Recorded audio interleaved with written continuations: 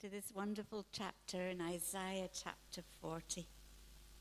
The Israelites had come to a difficult place. Everything around them seemed negative, depressing, and the future looked bleak as well. Perhaps they thought that God had abandoned them, that there was no hope, that things were not going to change. But then the Lord speaks through Isaiah, his prophet, with these wonderful words. First, he tells them simply, Remember who I am. Remember who your God is. Isn't that the best thing we need to do when we're passing through difficult, difficulties? Remember who God is. He says in verse, in verse 28 The Lord is the everlasting God, the creator of the ends of the earth. Our God is so great and so wonderful and so powerful. He's in control of everything. Earlier in verse 15, he said, The nations are like a drop in a bucket. And he weighs the, isle, the islands as though they were fine dust. They're just amazing images, aren't they? We're told he will not grow tired or weary like us. He is attent at all times, and his wisdom no one can fathom. His wisdom is more than we can imagine. He's a God who loves us with his tender love. If we go back to verse 11, it says, He tends his flock like a shepherd. He gathers the lambs in his arms and carries them close to his heart. He gently leads those that have young. And verse 21 says, Do you not know? Have you not heard? Has it not been told you from you from the beginning? Have you not understand since the earth was founded? Like he's saying, Come on, you need to relearn what you already know. Remember who I am, your all creator God, powerful and majestic. Perhaps yourselves, like Julio and I were a few years ago, we found ourselves like stuck in a rut. We found ourselves, we didn't have much vision and things needed to change. But time was ticking on and we didn't see any new things round about us. But God can change things from one day to the next. God changed things for us with a simple phone call that said, Why don't you come and work with us?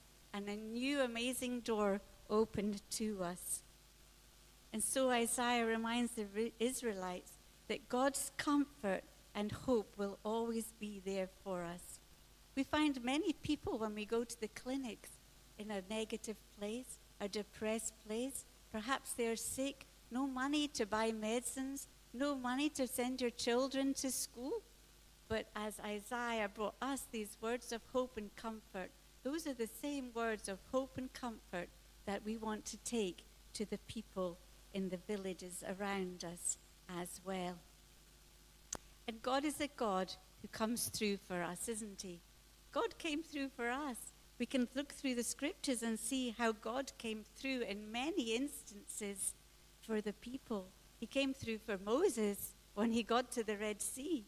He came through from, for Joseph when he, from in a conversation of 15 minutes, he came from a being a prisoner to being govern, uh, govern, governor in Egypt.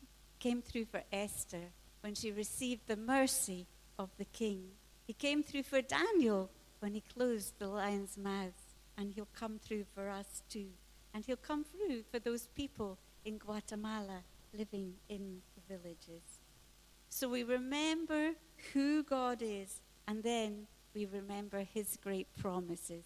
His promises that he will give us strength, whatever circumstances that we are facing in our lives, that he will give us his strength. And we can stand on his promises that are true. It's not that he's just going to give us a little bit of extra strength. He's going to renew our strength. He's going to change our strength for His. and His presence in our lives that's going to make a difference as He lifts us up to another level. I love the image, don't you, in the last verse. He said, where it says, they will soar on wings like eagles. Those majestic birds, the eagles, one of the most powerful birds in the world. Their wingspan can be up to eight feet. Their eyesight is eight times stronger than ours. Their grip is ten times stronger than ours. They're really powerful birds. And so we know here that when it says we will soar on wings like eagle, that's a very powerful place to be. A few weeks ago, we went for a lovely walk down by the Cheddar Reservation, uh, water reservation place. And it was a beautiful walk. You can walk right round the lake. But watch the seagulls as they were just soaring. And there was one seagull that seemed just to be without moving, but he was still staying up. And I said, Look at that seagull. He's, you know, he wasn't frantically waving his wings, trying to, trying to get anywhere. No, he was just soaring on the current of the wind. We don't need to soar on the current of the wind. We want to soar on God's power within us, don't we? And the eagles, they want to rise up above the storms in life. And we can get to that place where we can know God's peace and power no matter what is happening to us. And uh, so Isaiah continues to remind us to remember who God is, to remember his promise of strength, and to remember as well to do our part. Because it says, those who wait upon the Lord.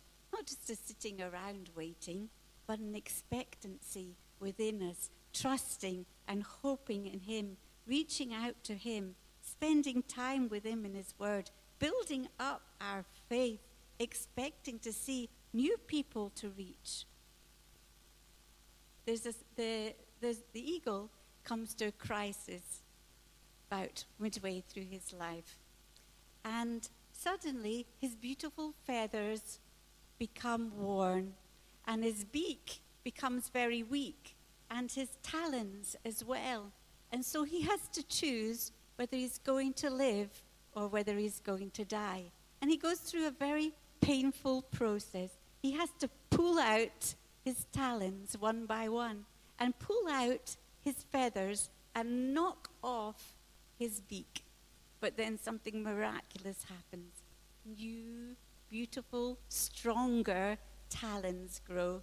A beautiful, new, stronger beak grows. And beautiful, new, shiny feathers grow so that he can soar even higher. Isn't that what we want to? To get rid of old attitudes, get rid of old things that are hindering us, to become more like Jesus, and to be even better, to reach new level with God, to reach new level in reaching out to people in our communities. And so, let's, as we take this message of hope and comfort from Isaiah for ourselves, let us start to soar on wings like eagles. Let us start to run and not grow weary. And let us start to walk and not faint as we take God's message to a dying